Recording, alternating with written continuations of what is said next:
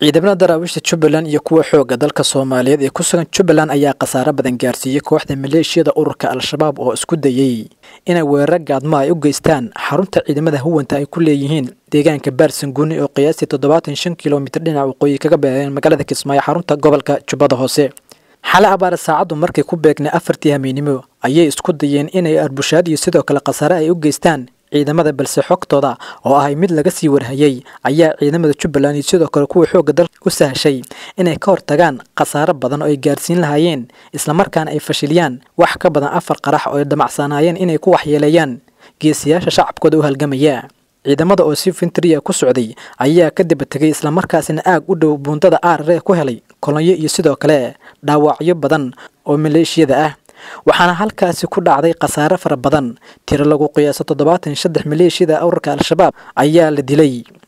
Waxaana la gubay saddex gaari oo nooca dagaalka ah iyo sidoo kale hal gaari oo nooca rakaabka ah loo yaqaano u d. Gaashaanla dhexe xasan maxamed aadan ciraaqi taliyaha ciidamada danabta qaybta jubbaland ayaa howlgalka kadib warbaahinta kula hadlay duleedka deegaanka baarsanguuni wuxuuna ka warbixiyey khasaaraha la gaarsiiyey ururka al-shabaab.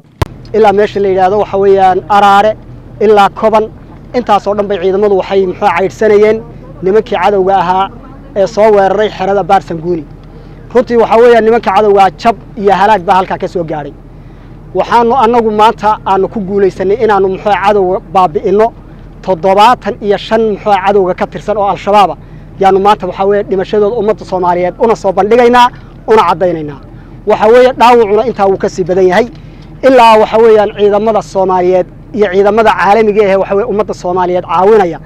Ilaa meesha ugu dambaysa aan kaga guulaysanana ka hadhi mayno waxa weeye waajibaadka waxa weeyaan madaxweynayaasha soomaaliya ay nafareen baana muxuu ahay waxay ku astaysan tahay inaannu la dagaalanno cadowga ummadda soomaaliyeed.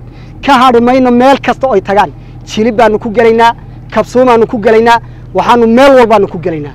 Ciidamada waxaa weeyaan soomaaliyeed hambalyo guulaha aad maanta gaadheen halkaa ka sii wada waxaanu idin leenahay ummadda soomaaliyeed u diyaar garooba sidii nimanka cadowgaa laysaga qaban lahaa aad baad u mahadsantihiin.